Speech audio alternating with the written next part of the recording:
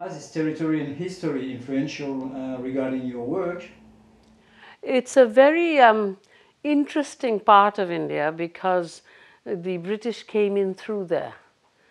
See, the, in 1757 they came in through there, and it, they were a company, right?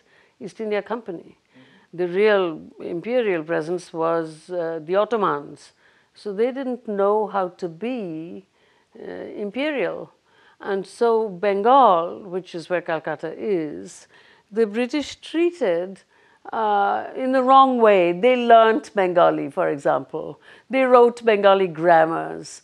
You know, they were like, they became much more Bengali and they established the Hindu gentleman class, etc. Once Bengal was established in a certain way, in the rest of India, they were much more imperial. So, to an extent, we uh, were different. I mean, there's been historical writing by Victor Kiernan and so on of this. So, one was this, and the other was that Bengal is second international communism.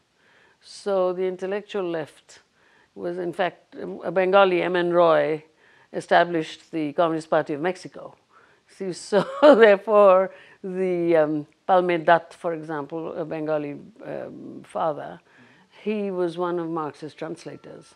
And so it's the whole uh, Bengal scene is a little bit different, and whether I think so or not, I am no doubt influenced by the fact that I was born in Calcutta, yes. Okay. And uh, is there some link with your um, um, with Marx uh, training for you? In this uh, Bengali context, yes, because it's also true that until five years ago, it was West Bengal was run by a left front government. Communist Party Marxist was the party in power, and uh, as opposed to the Communist, old Communist Party of India, which is more pro Moscow. And so, therefore, my uh, introduction to Marxism was in an actually existing socialist state, which had a very peculiar uh, uh, kind of situation because the government at the center in India was not socialist. And so I just wrote about uh, this man, Samar Sen, who was, who just, um, uh, he's dead, but he, it was his centenary, so I wrote something about him. He influenced me very deeply, and he ran a, a journal called Frontier, which still exists to support secularism, socialism, and democracy, quote. And um, his point of view was how to be critical of the parliamentary left, as in West Bengal, when the center is not leftist. And so it's like left of the left critique of the parliamentary left. This is very, very different from my introduction to Western Marxism, which was much later, more uh, really almost without connection to uh, the kind of Marxist training. And I'll tell you one thing I was in um, at Cornell as a graduate student, in, and I went in 1961. And there was at that time a whole kind of India thing, you know, the beatniks before the hippies even.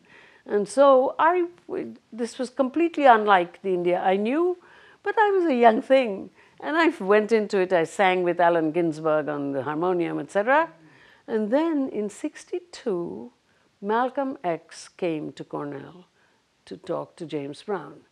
And as I was sitting in the audience, I remember so clearly, I thought, my God, this is like Calcutta.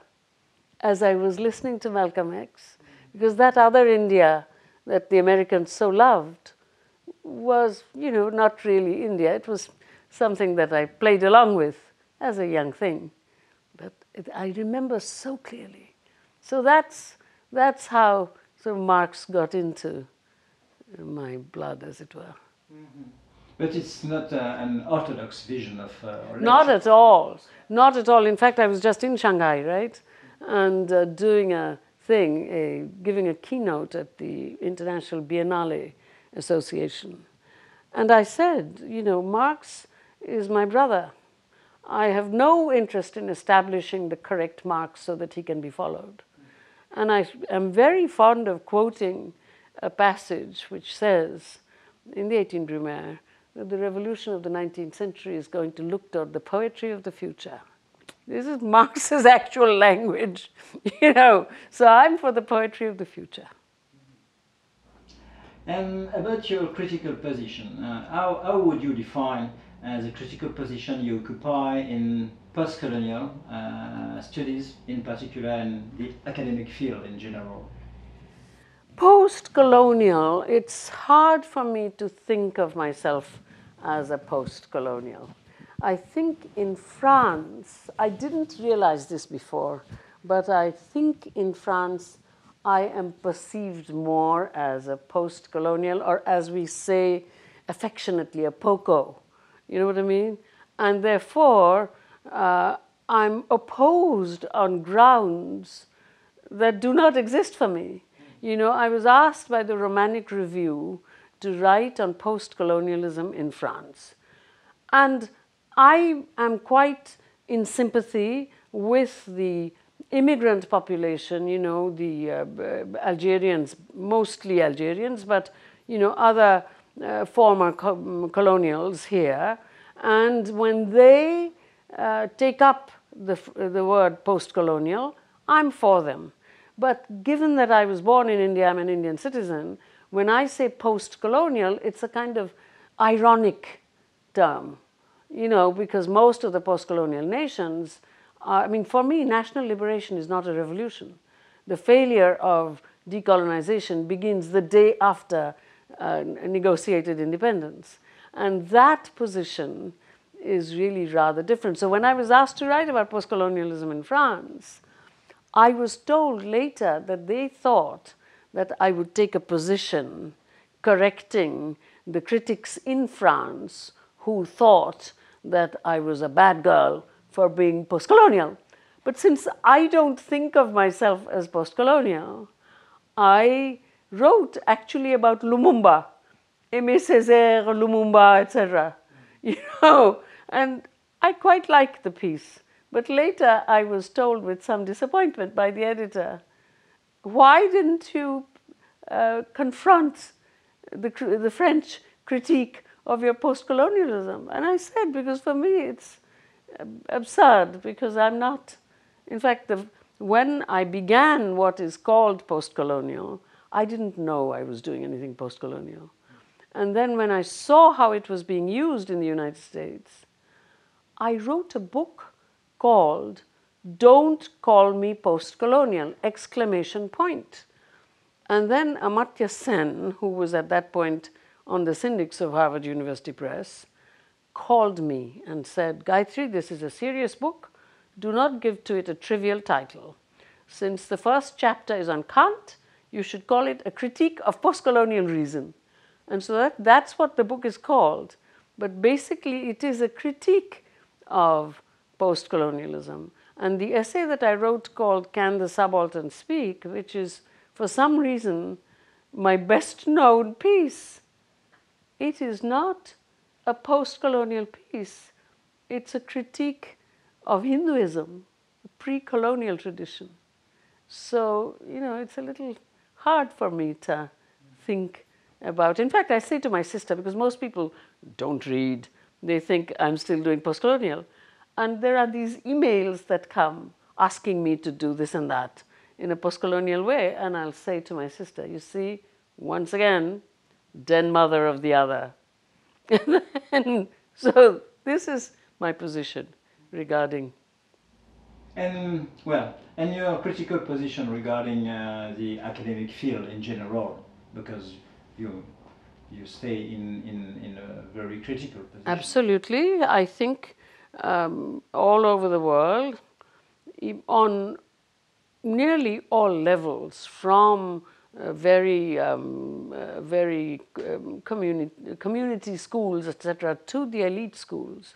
Now, private and public, the distinction between public and private universities is almost indistinguishable. And the general, um, the general tendency is corporatization. Hmm? As I say, to different degrees, but nonetheless, that of course is a great misfortune. Great misfortune. That's one. And then the second thing is the trivialization of the humanities. in which we ourselves participate. We humanities teachers, we participate in this. And the ones who do teach humanities teach in a certain kind of, uh, with a certain kind of sense that we are not really important in the contemporary world. And I think that's one of the things that I very much uh, question and do what I can to, uh, to oppose. And finally, I would say, I actually did say this at Vincennes when I, they were kind enough to give me an honorary doctorate. I said, look, in the 60s, we talked about, um, about uh, revolution in the universities. But what we didn't know then, that just doing revolution at elite universities and establishing these wonderful schools is not going to do anything. The um, education has to become holistic. In other words, we really have to see from the primary through the secondary into the tertiary and post tertiary. We have to have a sense because otherwise, class apartheid in education is destroying the world. So, this, briefly, this is my position regarding universities. You spoke about the death of the discipline, mainly about comparative literature. What does this expression mean more deeply? Uh, that's a, uh, thank you for asking me that question. I'm a literary critic, yes. So I was actually, I think I realized this later, okay, but I, so I'm now giving you something that I myself, because people, other people have asked me that question. And then I asked me, what was I doing? I was writing an elegy. See, an elegy is when at the end of the whole thing you say, it's alive again. See what I mean? When I actually gave those lectures, I called them new comparative literature. So, to an extent, you can say that I was perhaps uh, not really mourning, but even celebrating the death of the old comparative literature and hoping that there would be one which would bring together the social sciences and literature, which would recognize that every language in the world can be a first language, and therefore it can be learnt before reason and bring alive the um, ethical semiosis, you know, because that's what happens in the language that you learn before you can properly think, you know, first language. And so all of that I was hoping for.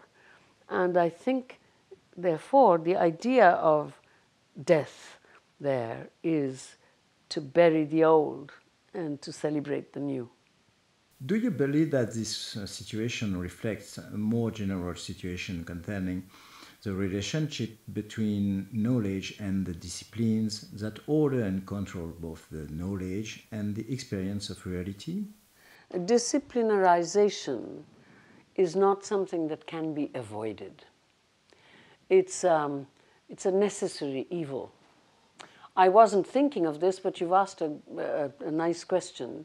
So I think what I say about disciplines is that it forms your way of thinking.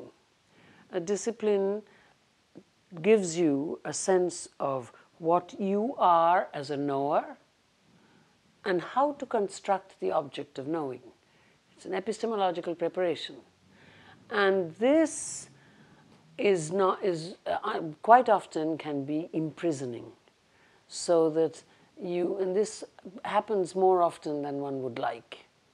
On the other hand there are I, it is it has been my good fortune to meet a few people who push the frontiers of the discipline.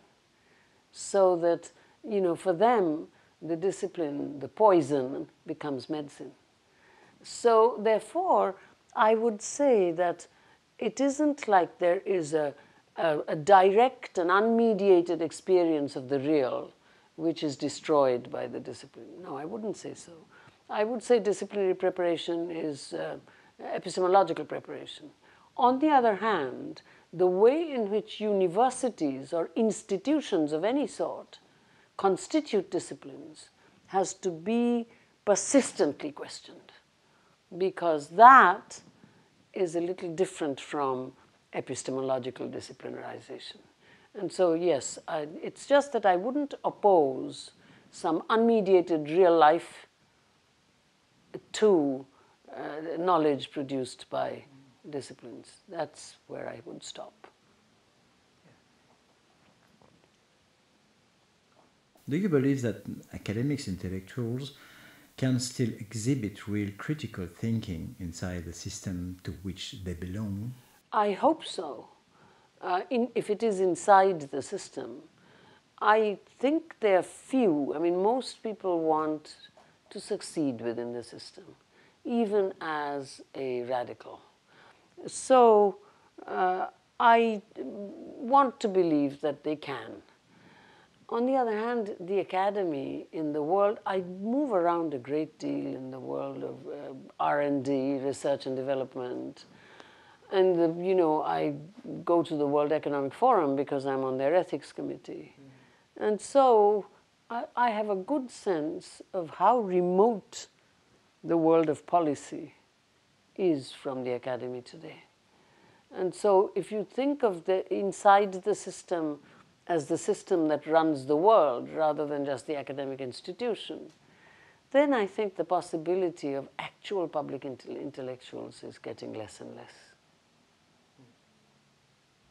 And well, uh, and my question uh, includes uh, the critics that you address to so-called uh, French theory, Foucault, Deleuze, and so forth.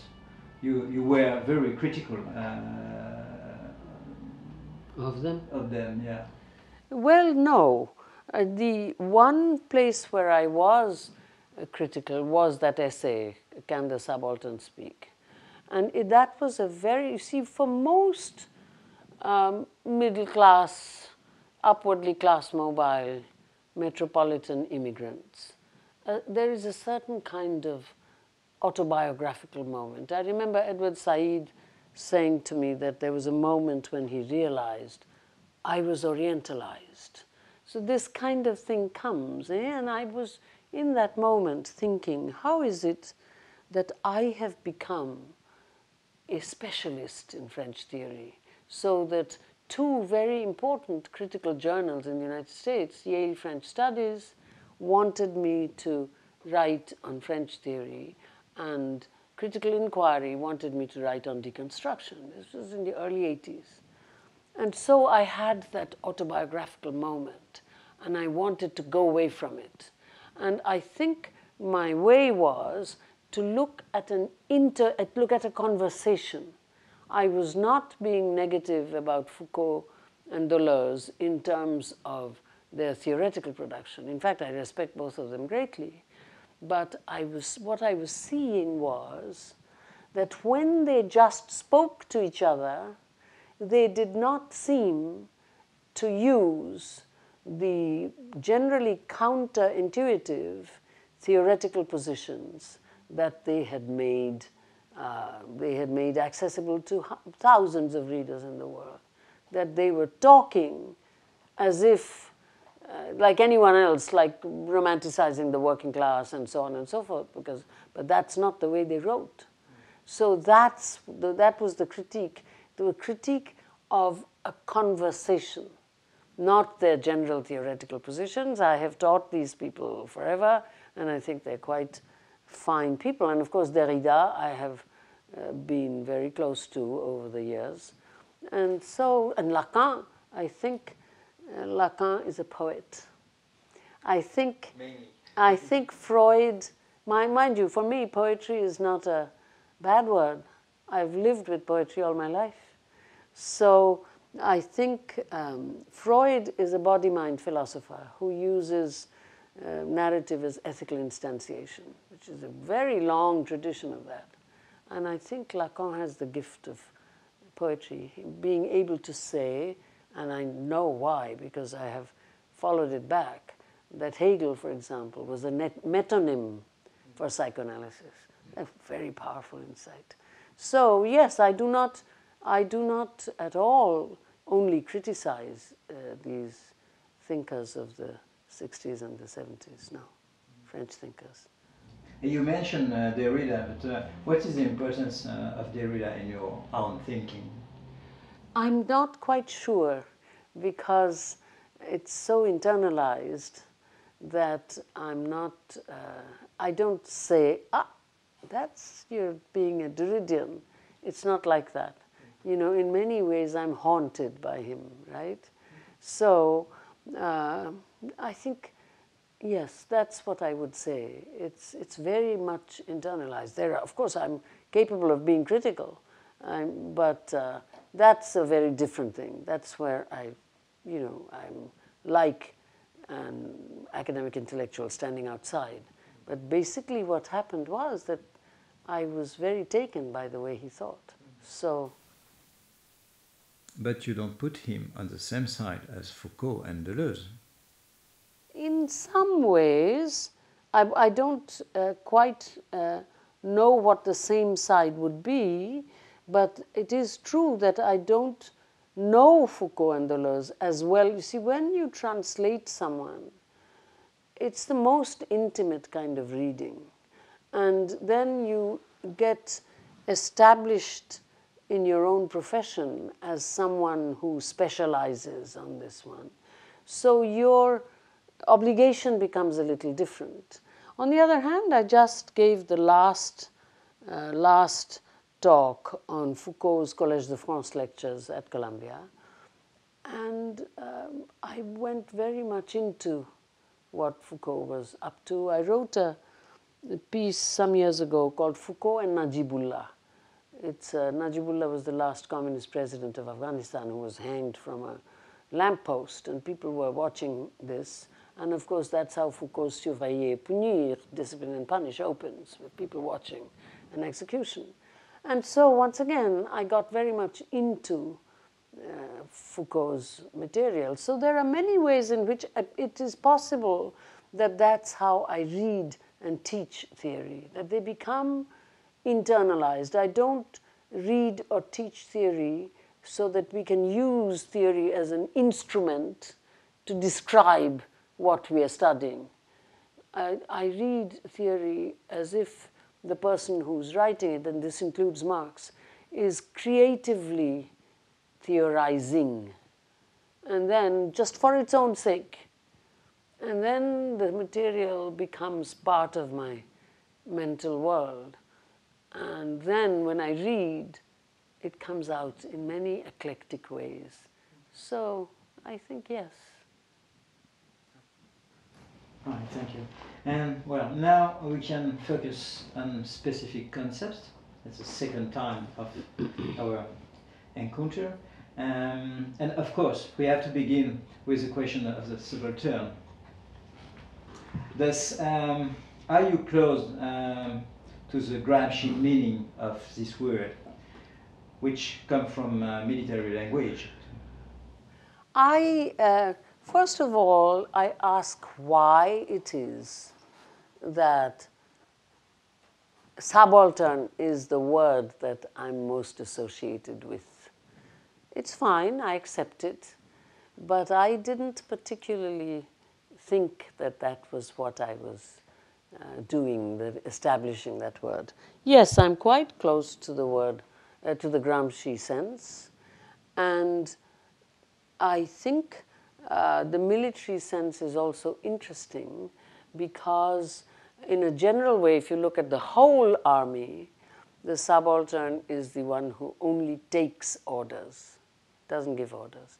But on the other hand, if you look at it from below the subaltern officers, they do indeed also give orders.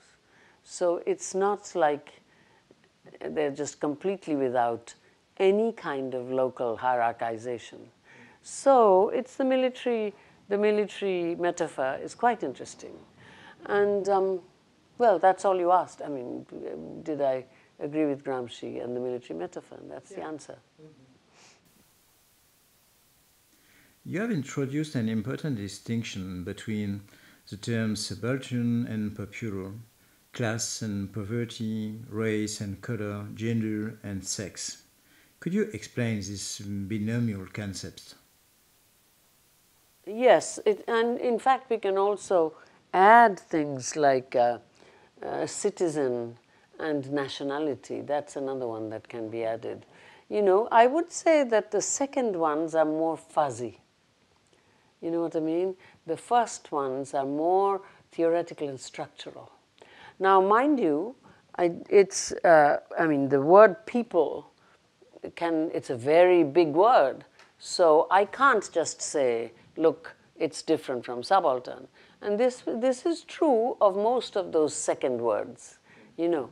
But um, people, in fact, Ranajit Guha, the uh, South Asian historian who start, started the Subaltern Studies Collective in Southern Asian history, he, in his first, uh, in the first collection of that collective, he in fact identified the word subaltern and people.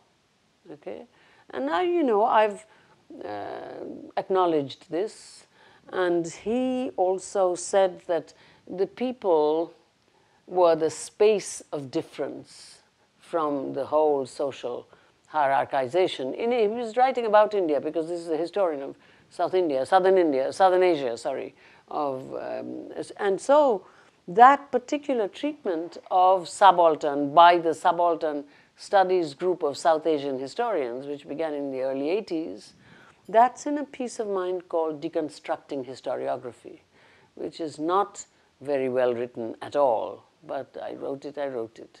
They make the MA students read it in West Bengal for their uh, syllabus, and I feel a little embarrassed. But yes, so people, then poverty and class.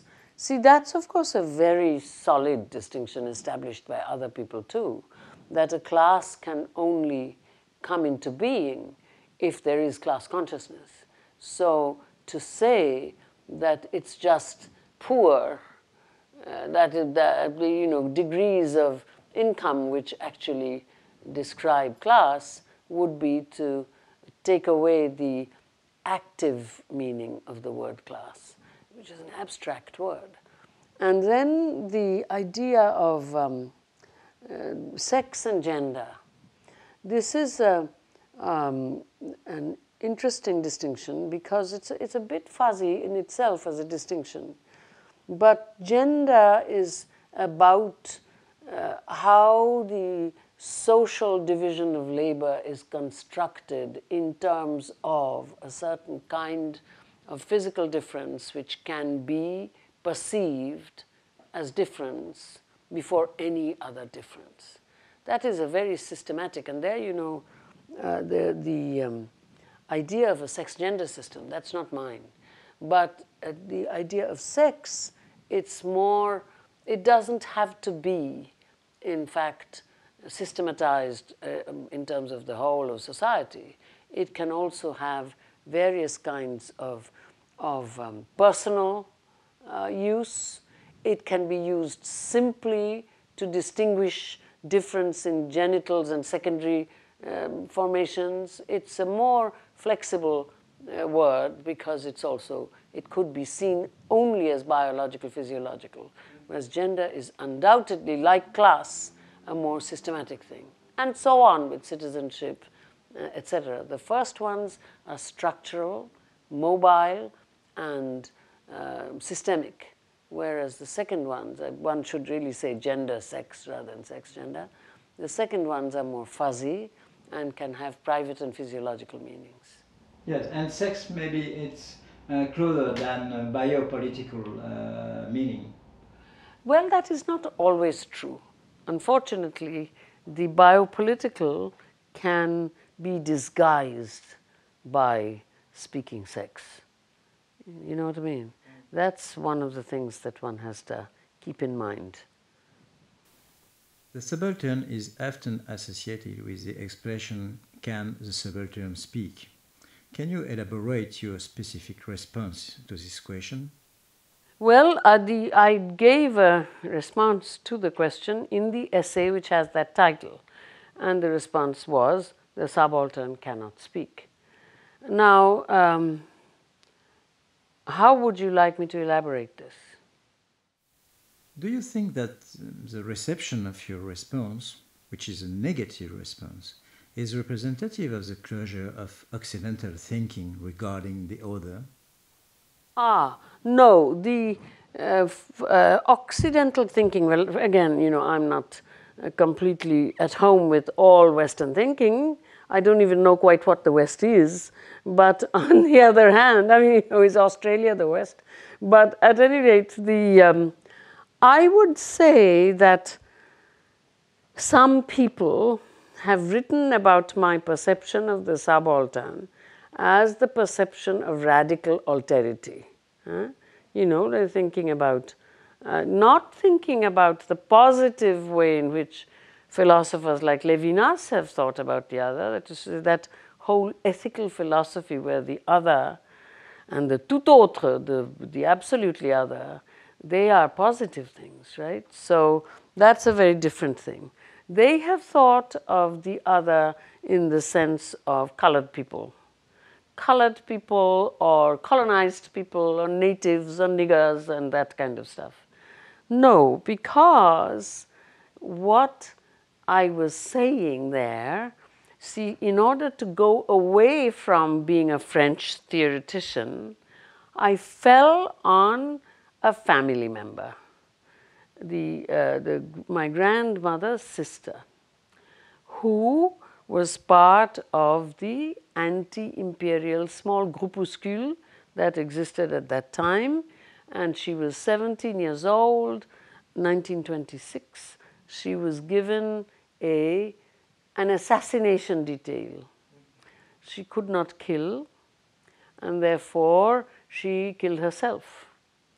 But she waited four days before she hanged herself for, uh, uh, in order to menstruate, so that she could speak with her body and oppose the traditional uh, gendering that a woman exists for a unique man, you know, like widows being burnt. She wanted to take a position against this. So, even in that terrible time when she has decided she's going to die, she's waiting until she menstruates because she doesn't want anybody to think it was because of an illicit pregnancy. And not only does she do that, she even writes a letter for her sister, my grandmother, to be opened 60 years later because she didn't know when India would become independent.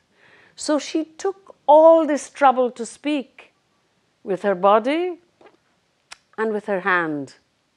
And yet, two generations later, my generation, my first cousin, whom I will see again on the 17th, who has the exact same educational background as I.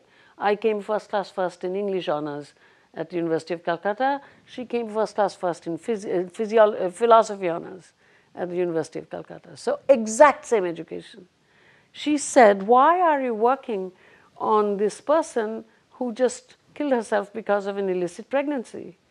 So I said, in rage, the subaltern cannot speak. That is to say, even when she spoke with her whole body and waited for four days in that terrible time, this teenager, and wrote a letter, she tried so hard to speak, but her speech act could not be completed. Therefore, she could not speak. That does not mean that they can't talk. See, Meaghan Morris said this to Dipesh Chakrabarty. People who think that Gayatri, Gayatri would have to be very stupid actually to say that, even if I thought so. I wouldn't say it. Can you imagine? So Meaghan said to Dipesh, people who think that Gayatri thinks uh, she's denying a voice to the subaltern and so on, they think she wrote an essay called Can the Subaltern Talk? No, it's a speech act. Can only be, it can never be fully completed. It's always uh, going on, you know, it continues forever because language is such a movable thing, you know, it doesn't stay in one place. But nonetheless, it can be completed if there is an infrastructure that can listen. Nobody could listen to her. That's why the way in which I said that is the rhetoric of rage, like people will say, there is no justice. that doesn't mean there is no justice. It means that although there is law, law is not justice. You see, so that's what that meant, but nobody read the essay carefully enough to see that story. My mother was very worried that I was writing about her. I said, Ma, no one will pay any attention, especially since I didn't say she was my grandmother's sister, because I didn't want people to like me because my grandmother's sister had been in that struggle, etc. So therefore, I took a good long time to explain this. I have, in fact, also explained this. There was a conference 20 years after I had given the talk, and I wrote a, a piece where I explained everything. But that's what I mean. So it's got nothing to do with the West, with the West shutting up niggers. No, no. I wonder if um, subaltern uh, indicates not individuals, but a part of dominated group that remains incapable of using language, or more precisely, uh, the discourse. Uh, am I uh, mistaken? No. The um, uh, when I first went away from just being a French specialist, as I say, I fell on my family, right? and I spoke about an individual.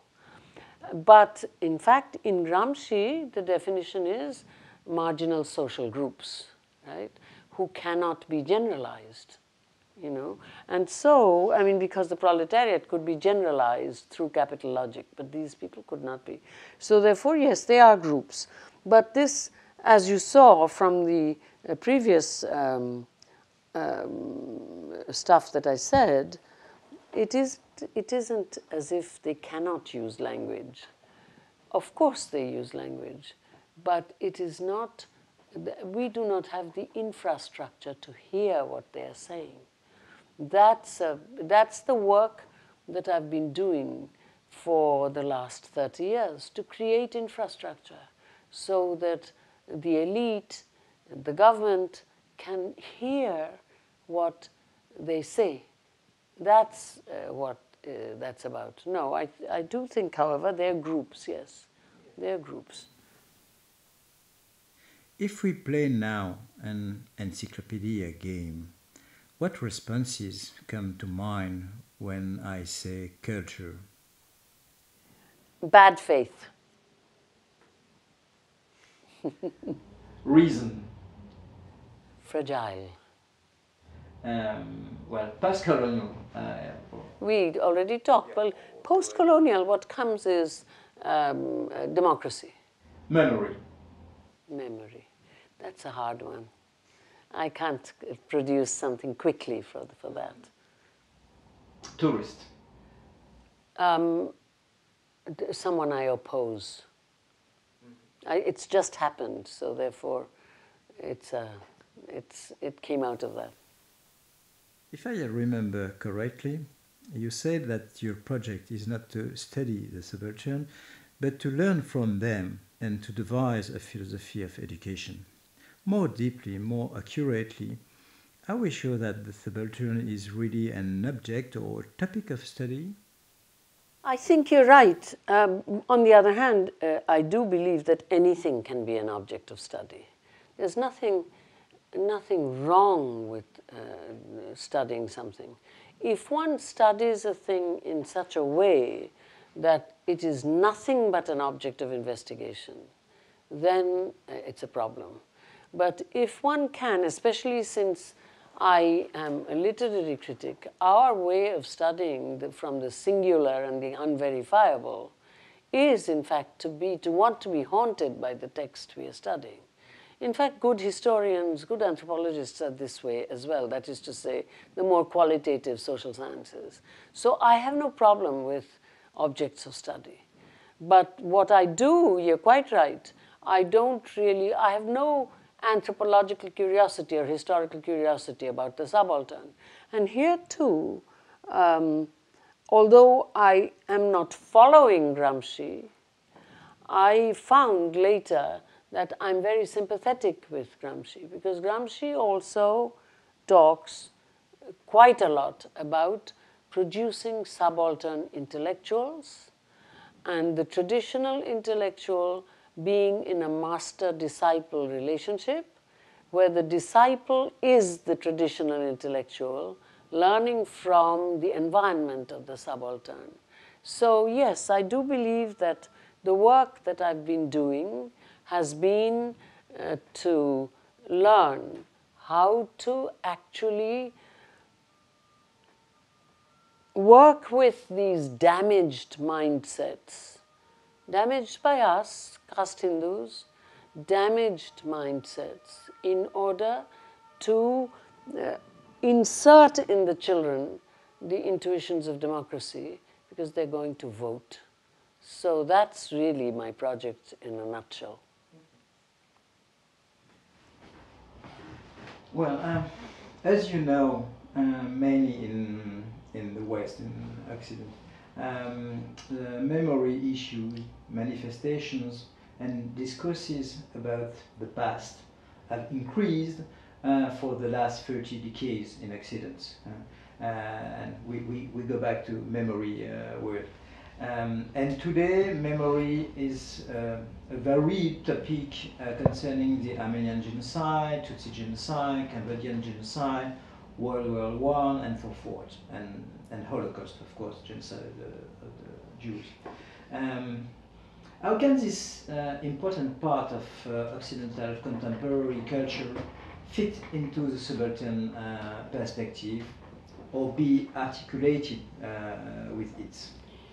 I uh, think that memory is not just, I mean, it may be uh, today kind of theorized as opposed to official historiography in the West, but the, this emergence of memory rather than um, access to, that's the subaltern stuff, the subaltern does not have access to, whereas the Western elite theorists turn their back on official historiography, the subaltern does not have access to official historiography.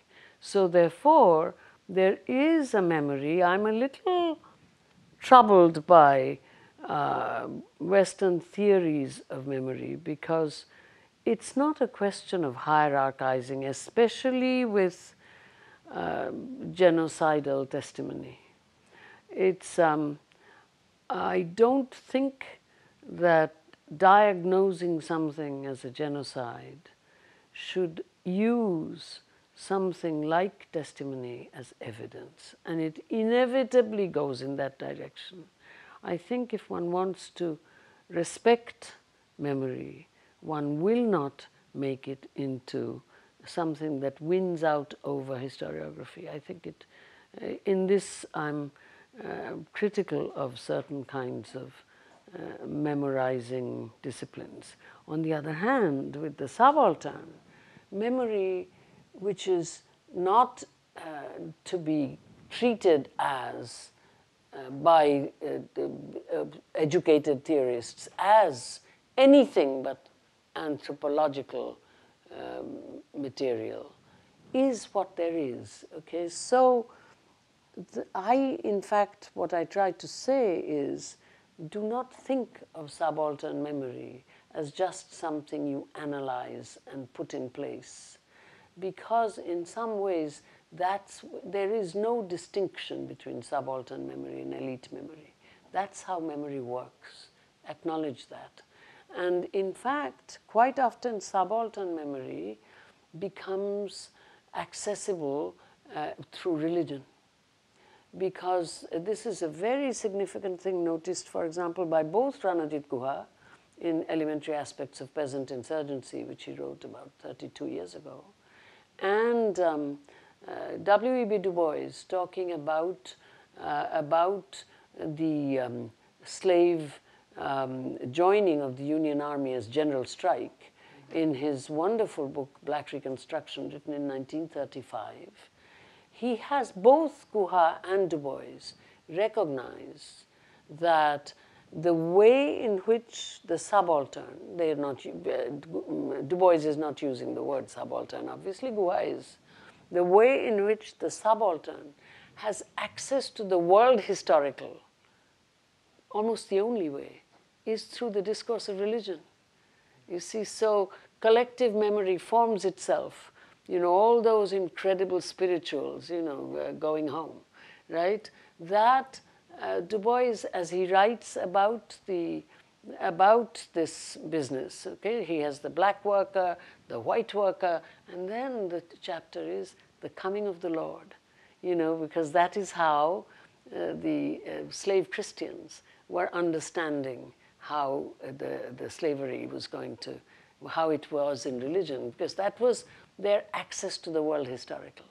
See, that's why it's so delicate, so that when the elite actually uses this as kind of post theoretical practice, I'm a bit, I remain quite critical of this. And so that's how I would connect it to subalternity.